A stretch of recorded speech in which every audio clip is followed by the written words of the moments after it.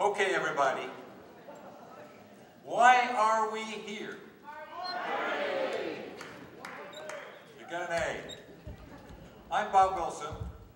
I am the immediate past chair of the Board of Trustees of the Capital Center for the Arts. And you actually gave the wrong answer. We're here because we're in Marty's house. He lived here. He still lives here. As a matter of fact, if you'll indulge me, I'd like to have just a very brief conversation with Marty. Hey, Marty, there are a lot of people out here. You know what it is in Italian. You talk with your hands, right? Well, there are a lot of people here because you are here. And we're going to have a party because of you, and we're happy for that.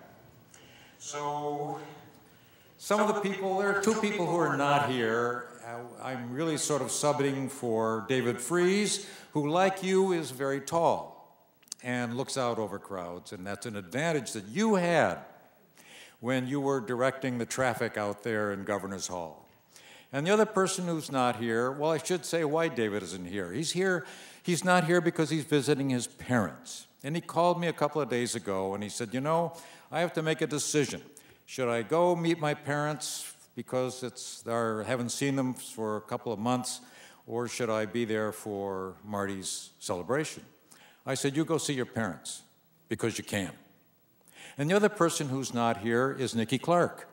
And you know, Marty, why she's not here. Because she's in New York City. Uh, she's having a good time, I hope, but she's also getting the roster ready for the shows for 2014 2015.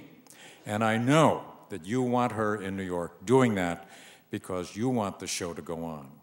So, Marty, we're just thrilled to be here on your behalf, and we're going to have one heck of a good time because we're in your house.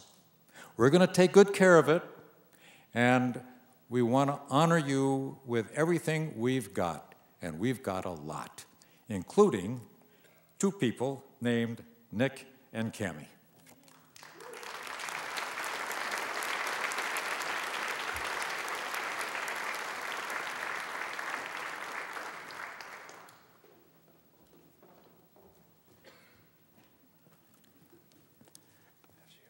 Hi, everyone.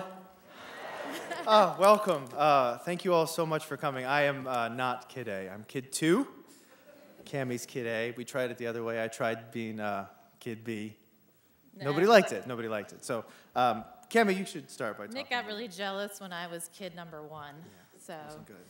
Um, anyway, thank you all so much for coming. It's amazing to see so many old friends. I just, um, it's fantastic. And uh, everyone keeps asking me if I'm sad, and I am sad, of course, but I'm also so happy to see everybody. It's just wonderful. I'm so glad you all were able to be here.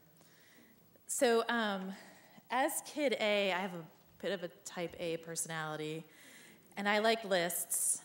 So, I decided to make a list for today um, of things that I learned from my dad. And um, some of these things are things that I actually learned, some of these things are things I aspire to. But um, somehow this list ended up with something like 18 items, which is not very round, but we're going to go with it anyway.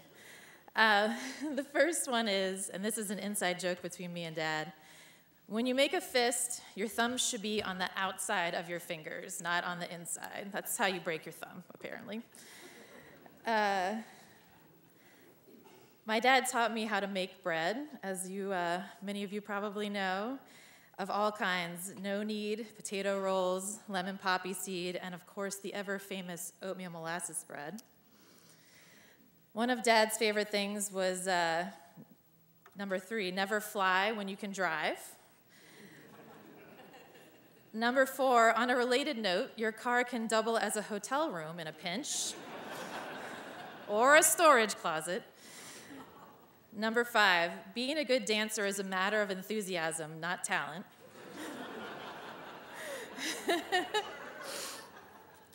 Number six, it's never too late to become a liberal.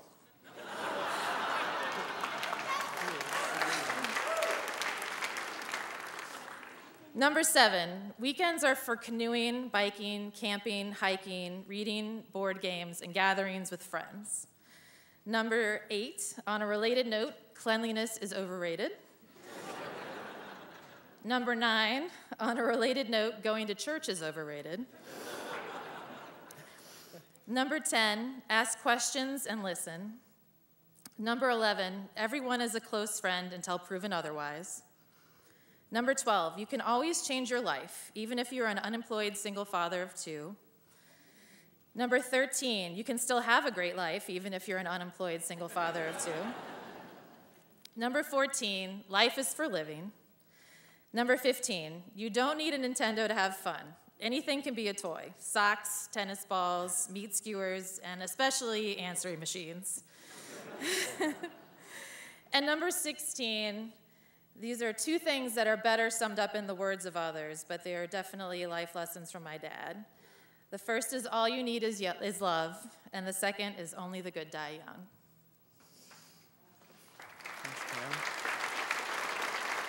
Thank you, Cami.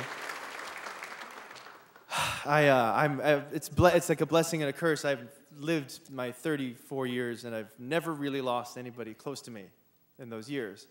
And so my whole life, I would you know, dream about, God, well, the big one, Dad. I mean, what am I going to do when that happens? He's like so big, and I thought, and I thought, and I would think about it as a child, macabre sensibility maybe, but uh, we've all done that at some point. But anyway, uh, so I thought about it and I thought about it, and it, um, what I wanted to say came down to this sentence basically, which is uh, In a too small car packed with rotten fruit, the most important man in my life made a family, and he made a choice. Uh, what I decided I need to do is to distill all of the great things that Marty did and that he taught the two of us into like what's the most important lesson uh, and specifically because I have just, uh, my lovely wife Brenda and I have just had a kid, Marty, who's right over there. Uh, I don't know if he can stand up, he's really cute. Somebody said I didn't even need to do a speech, I could just do like the Lion King thing, and I thought about it. But I hated the Lion King uh, so badly. And Dad did too. He was never fond of the later Disney films. Um, Dad never you know, if, if he thought something wasn't very good, he, he would make, he would tell you, you know, he would let you know. And I love that about him. We're going to praise this man today, but he could be ruthless at times, you know, with his, with his, with his thoughts. Um, and that's why this, I thinking of the story of Jehovah's Witnesses coming to his house and him talking to them for four hours. And the fact that I don't think a single week, week went by where we did not go to somebody's house and spend the night, I think, for our entire youth. Um, you know, you don't stay at home and hang out and watch TV. You have to go out into the world and do things every single day. And I thought and I thought and I thought about this one meaningless at the time story, which was a pizza delivery man uh, from Mug Pizza in Penacook, New Hampshire. He came and delivered our Hawaiian pizza. And he was wearing this like grotesque heavy metal shirt, you know, with a skull and a naked woman on the front. And he was a little drunk. Uh, and dad, you know, and I was worried dad would say something, or dad paid the guy, and then he looked at him and he's like, I like your shirt.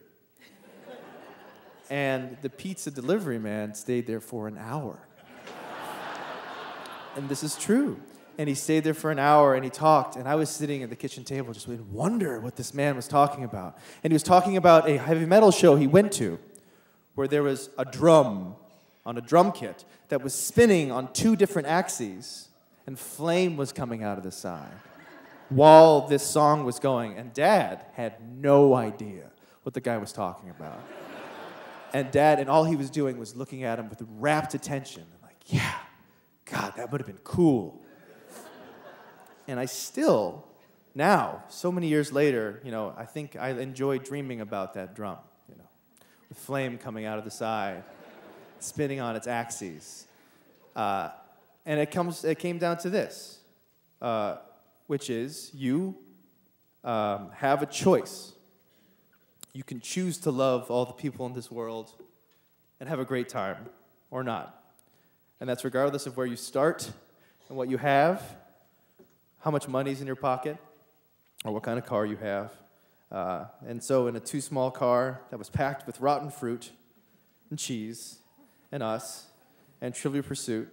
The most important man in my life made a family, uh, and it's all of us here. So thank you.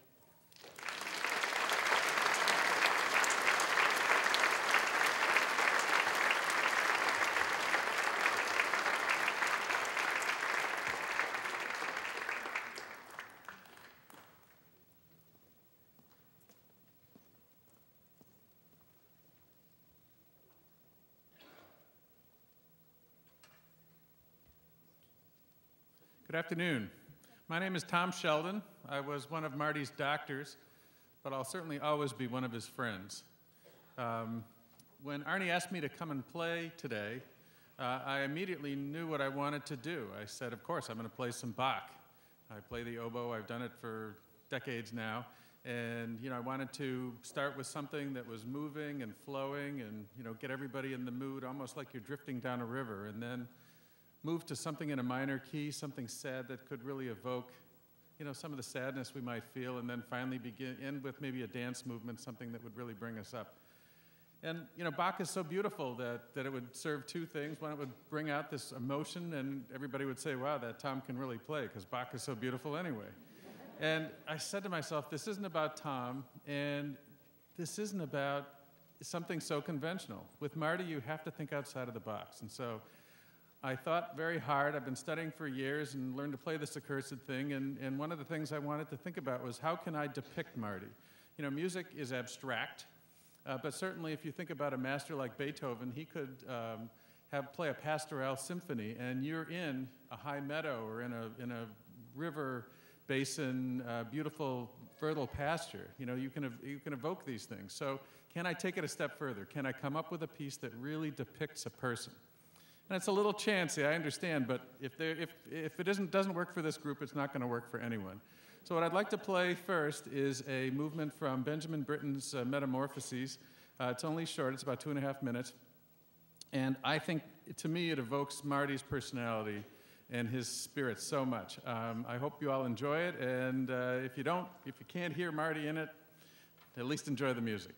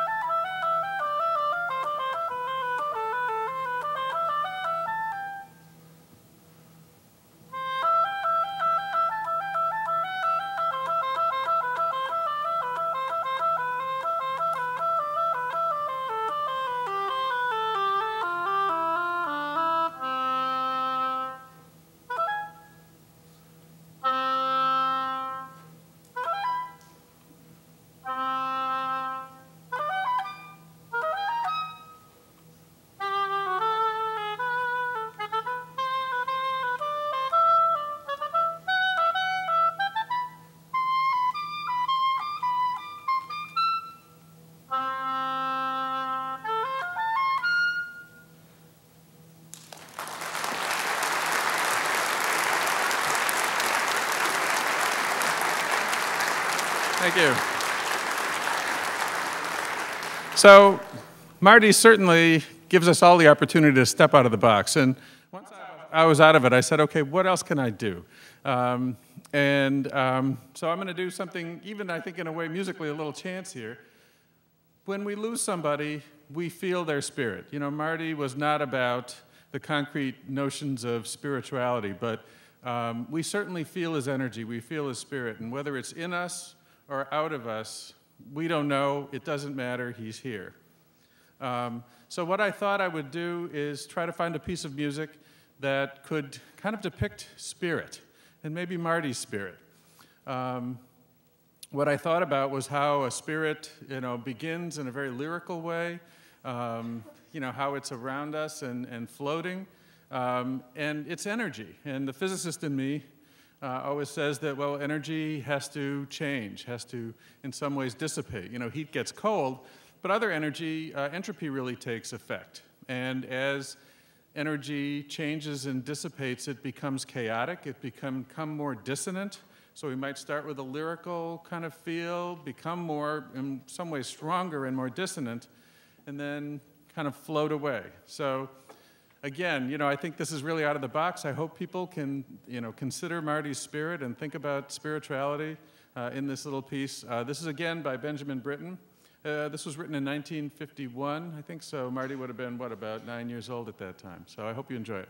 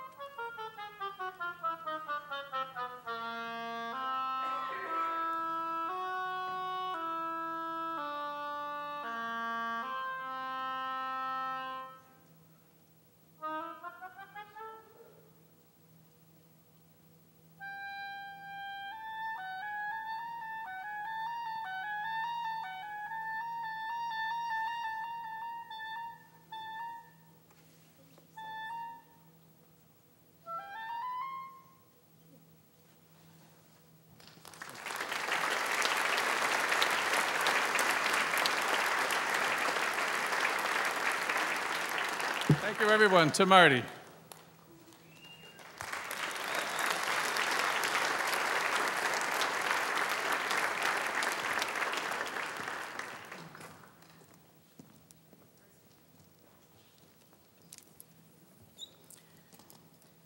Good afternoon. I'm Steve Struck. but seriously, I also answer to Gail Kinney, um, Arnie and I go way back to the um, mid 1980s. And uh, so I go back with Marty to the point that he waltzed into Arnie's life. And I just remember really quickly, it was before I saw Marty and Arnie together, it was uh, Mary Lou Sayer, who's um, a part of the family, who said to me, You should see this guy. He is just perfect with Arnie. So um, that was wonderful. What part of what we wanted to do today is that we wanted to capture a little bit of Marty's youth. And so Steve Struck and Marty go way back, they're childhood friends, and whether they were young or whether they got older, when they got together, they were still just two boys at play. And unfortunately, Steve um, was not feeling well, was not able to travel to be with us today, but just about the time that we discovered that, Arnie received a letter from one of Marty's army buddies. Now, this is a part of Marty that um, most of us didn't know about, but Marty was in the army in the mid 60s and actually served in Vietnam, and with his army buddy, Bob Most. And so, just as we were discovering that Steve couldn't be here, Arnie got a three page letter from Bob Most, Marty's army buddy, and very, very thoughtful. So, we decided to give you just a sense still of two boys at play, I want to read you the story from Bob Most.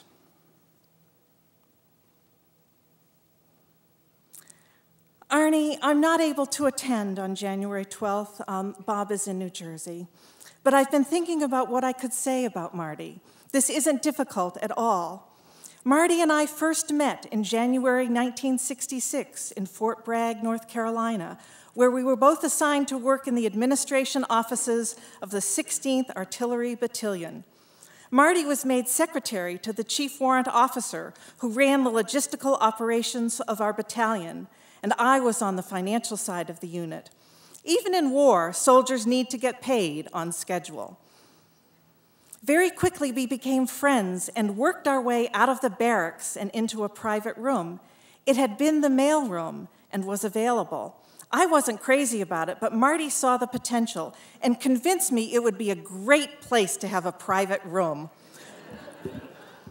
what a combination me, a neat freak, and Marty. if you knew Marty, neat was not a word in his vocabulary.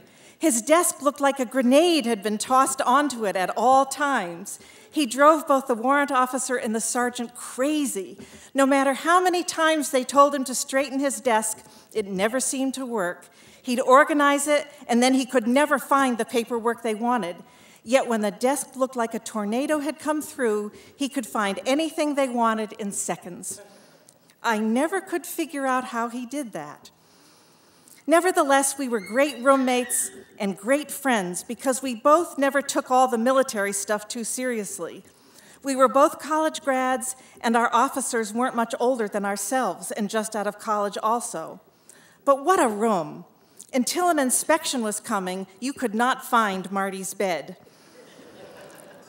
He would always find something else to put in the room. Once we got three day passes and drove to my house in Long Island, New York. All very illegal, but so what, says Marty. We came back with this huge television my parents were throwing out.